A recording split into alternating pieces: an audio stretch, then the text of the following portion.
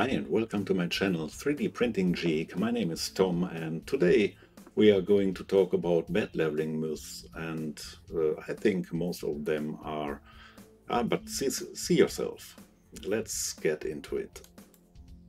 Before we start going into the myths, I will show you some sorts of auto bed leveling sensors which you could use uh, to do auto bed leveling and uh, explain their working principles. And then we continue with myth 1. Stay tuned. This is one of the first uh, auto bed leveling sensors I was working with. It came with my Tevo Tarantula a few years ago.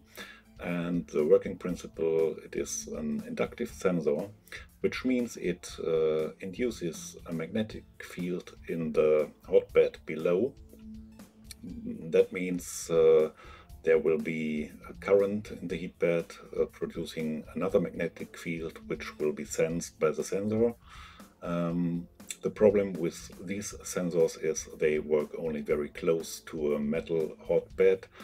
Um, as soon as you're using a glass sheet between the metal heat bed and your print surface, then they uh, are not very reliable this is uh, the second sensor I will show you. It's a capacitive sensor which uh, reacts as its name implies, changes in capacitance when it moves down to a surface.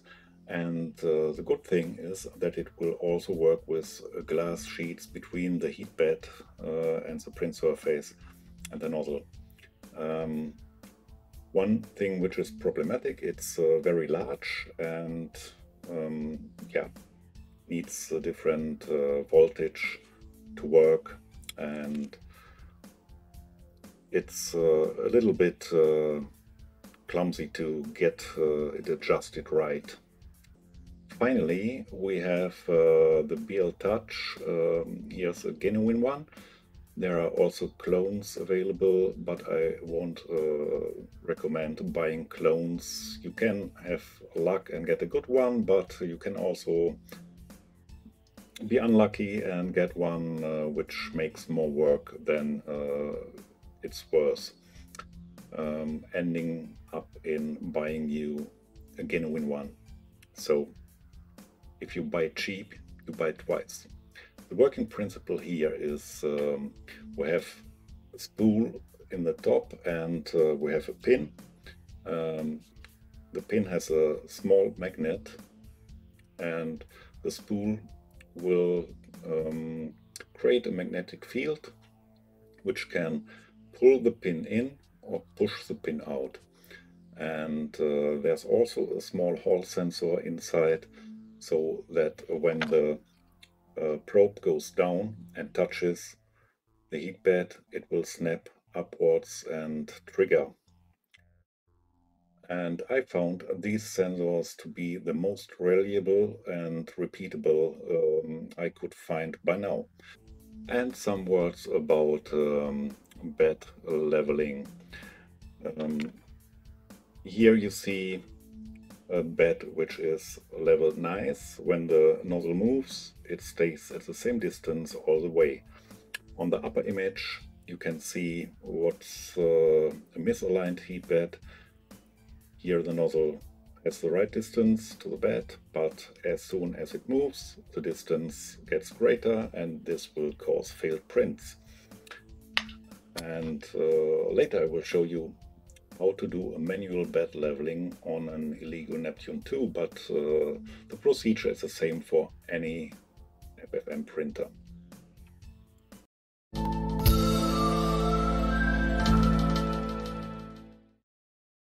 The first myth we come around with is uh, bed leveling is hard, but bed leveling is not hard. You need just to take some time to practice and getting used to it. In fact, after having some practice, you can do it with your eyes closed, almost. Uh, so let's see how to do it. I will show it on my Elegoo Neptune 2 and uh, support it with its uh, leveling support. So watch and stay tuned for the second myth. So let's see how the leveling for an Neptune 2 is to be done. Here in the leveling menu are all the points we can get the printer to move the nozzle to, which is the front left point, front right point, the back right and left right, uh, back back left point, and also the center point. When we choose the front left point, the printer homes and afterwards moves to the first position, which we will check.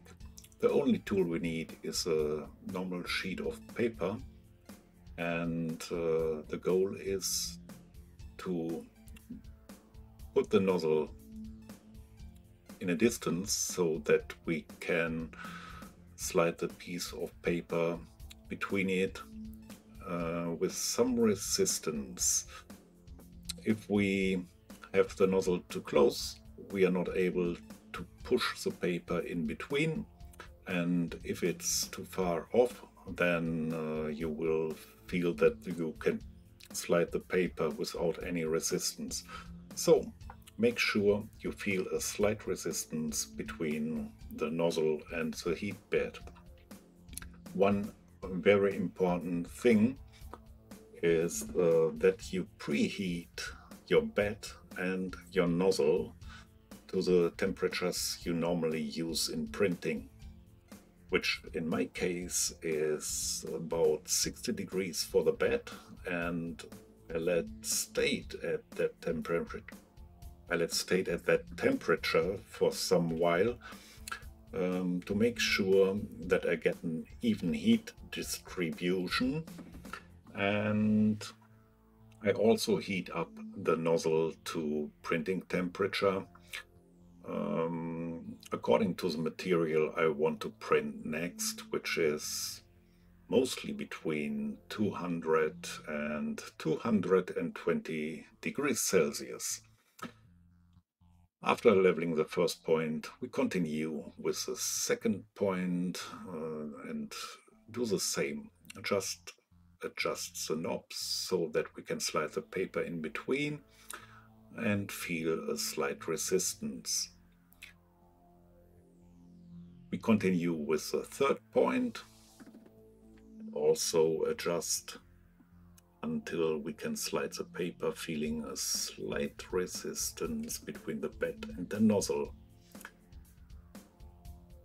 And the last edge in the back left. And here you can see uh, the nozzle is a little bit too close, so I have to lower the bed until I can slide it in between. The last point to check is the center. And that seems already okay. After doing a first leveling, uh, I repeat this at most one time to make sure the bed is level.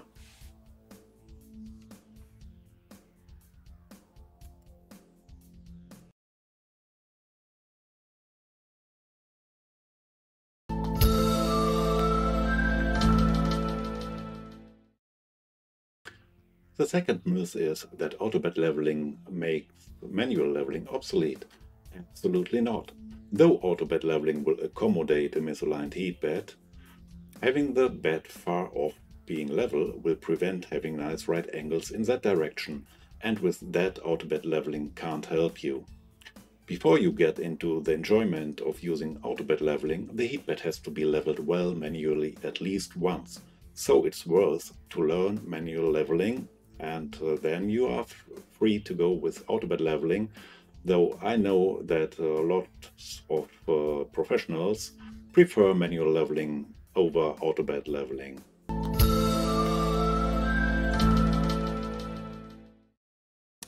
And to the third myth, autobed leveling is superior to manual bed leveling. It's true that autobed leveling can make life easier, but it can also be tedious to get it right. Depending on the type of bed leveling sensor, an adjustment of the Z offset is required to accommodate the offset between the probe and the nozzle tip.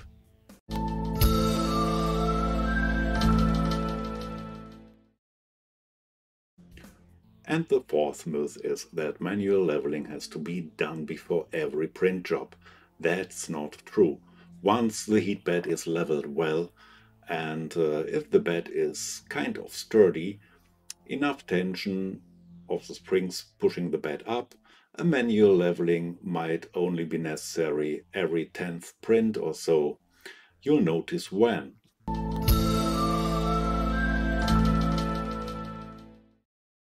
The fifth myth is that manual leveling doesn't help with a warped heat bed. This is not also true, at least not when using uh, some sort of um, approximation from the firmware.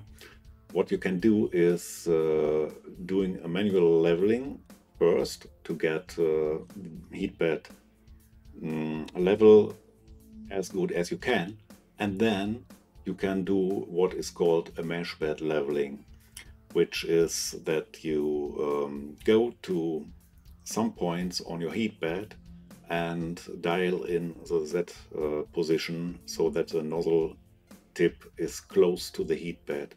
And these points will be saved in your printer's firmware, and the firmware will then approximate uh, the height distance between these points when it moves making sure the nozzle stays at the same distance all over the bed.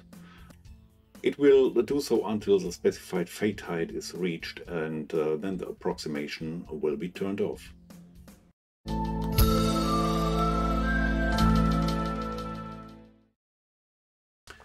Last but not least, the sixth myth. Leveling can be done without preheating. I wouldn't recommend doing a cold leveling unless you really know what you do which is having enough experience. Both the heat bed and the printing nozzle will expand when heated up and cause the distance you dialed in to become off. This can be as much as ruining your first layer because in the heated state the nozzle and the heat bed are much closer to each other than being cold. The aluminum bed will expand and the nozzle expands in its length as well in hot condition. It's most preferable to heat up both the heat bed and the nozzle up to uh, mostly printing temperatures to take these changes into account. When I do my leveling, I preheat my bed to 60 degrees Celsius and I let it stay at this for a while to make sure the heat is distributed equally. And I also heat up my nozzle to something between 200 and 220 degrees Celsius, depending on the material I want to print next. That way you can be sure to have the right distance for printing. That's it, and uh, I hope you enjoyed the video and uh, I could give some insights and help you get better prints. If you have questions or comments, write me in the comment section down and uh, also put your suggestions for topics you would like to see in upcoming videos. I'm currently working on some interesting things which I hopefully can share with you soon. Don't forget to subscribe the channel and uh, to get notified about upcoming videos. Like it and share it. See you next on 3D Printing Geek.